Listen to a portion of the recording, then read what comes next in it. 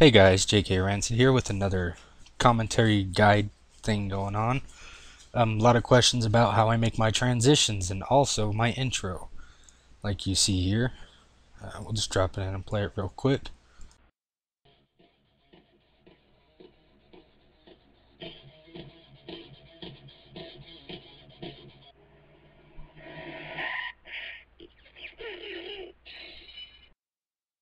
are um, how do I do my text transitions, and of course the name of the song in the intro. Well, the name of the song is Two Weeks by All That Remains. Uh, great band, love them. That's why I put them in my intro. As for the text transitions, they're really pretty simple. They're made entirely using the video effects from my Vegas movie editor. Uh, so what we'll do to start is we'll insert a text media, just like this, and uh, I always take it off bold and drop it down to 60 because of the size of the text I use or the type of the text I use and uh, I actually download this. It's called uh, diffused. It's my favorite test we'll just type in JK Rancid and then we'll go to the properties and you know change your colors. Make it anything you want. Since everybody knows me from the Finest Arts channel we'll go ahead and do the lime green thing I always do then from there we'll go ahead and we'll drop a draw shadow on it. Just the standard draw shadow uh, settings are good for this. Once we have that set up, um, I like to make mine look like it has texture because as you can see it's kind of blurry. Uh, doesn't look that great. So I head into bump map and I take lower left spotlight and drop it right on there. Just zoom in on this a little bit and then from there I'll just kind of play with it until I get it right about where I'm happy. It looks pretty good. And uh, you start to get that 3D effect you know.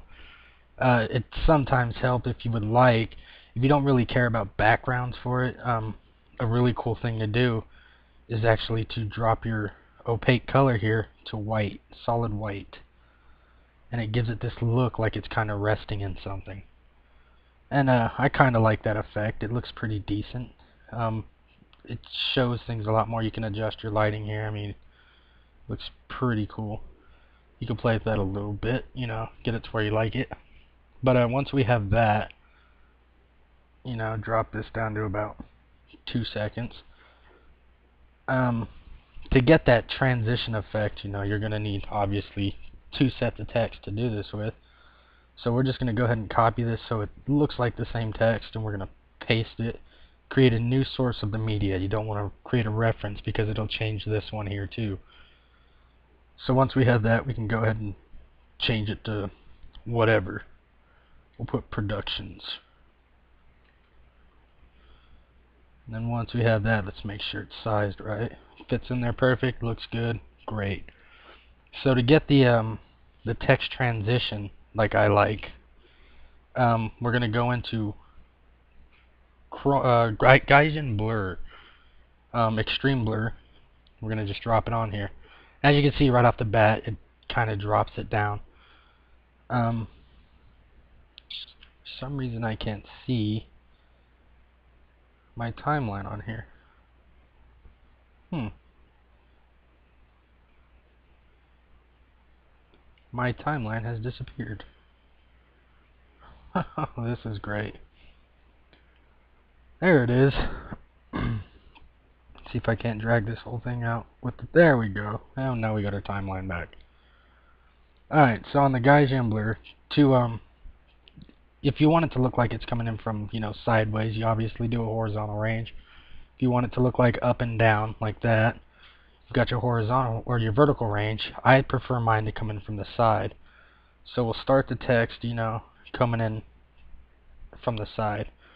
And we'll click on our timeline here, and I, I like to click forward about four to five keyframes. Four is probably good enough, and then add a keyframe. And on that keyframe, go ahead and drop it back down to zero. So it should look something like this. Okay, maybe uh, a little too quick on that. Drag it a couple keyframes off start it again. Looks pretty good.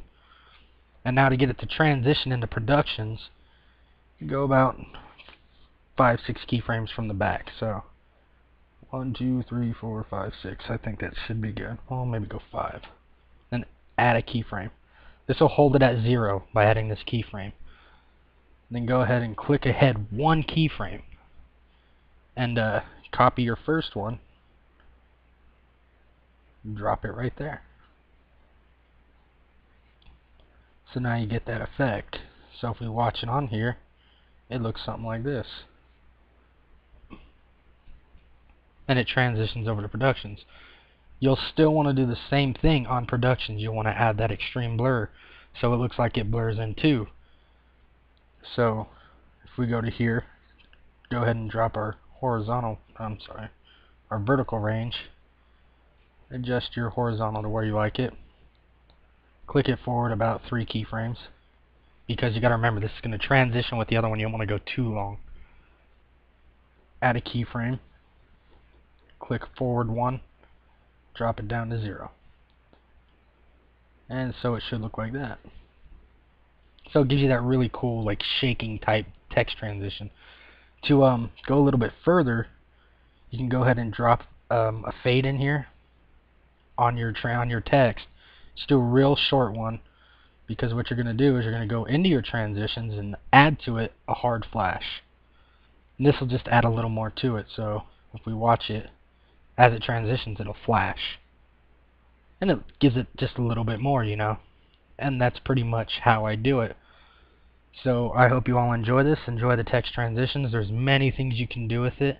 As you've seen in like my Bandos Solo, I had this sort of set up with red text and it kind of jumped on the screen to do that, we'll make this text jump, you know, in the middle of it. we'll go about here. We'll go about mid mid key on this one. And uh, we'll add a keyframe, just where it is. And we'll click forward about four. And then we'll take it and we'll move it straight down. Oh no, I didn't lock the aspect ratio on this. Okay and it should lock the aspect ratio. Oh, it's not doing it. Okay, for some reason I can't do it with this one. Um, anyways, to do it, you, what you would do is you would drop a keyframe here so it stays, and uh, from there you would just kind of bring your text down to here, and then go forward a few keyframes and restore it. And then on your Gaussian blur, I'm just going to do it even though it's kind of moving the uh, gray back here so you can see how to do it. Go to video effects, do your extreme blur, where you actually it's already got the extreme blur, you can just go in here, run through your keyframes until you see where it starts to move. And from there, you'll add a keyframe, click forward one, and we'll do this one with a vertical range, like so and then we'll click it, click it, click it, and then once it's it's sort of starts to stop and get back to its place, we'll go back one keyframe, add a keyframe, and then this is where it's actually back in its place, and we'll go ahead and drop the vertical range back. So it looks like it kind of jumps down a little bit. Just kind of like that. And you could play with it, you know, do what you will with it. Um, but that's pretty much it. I mean, it's really cool stuff. The three effects I pretty much use are bump map, Gaussian blur, and the transition hard flash. And it creates this really cool look. So have fun with it, play with it, use it. Um, it's one of my favorites. Uh, watch for more videos, subscribe, rate, and uh, comment.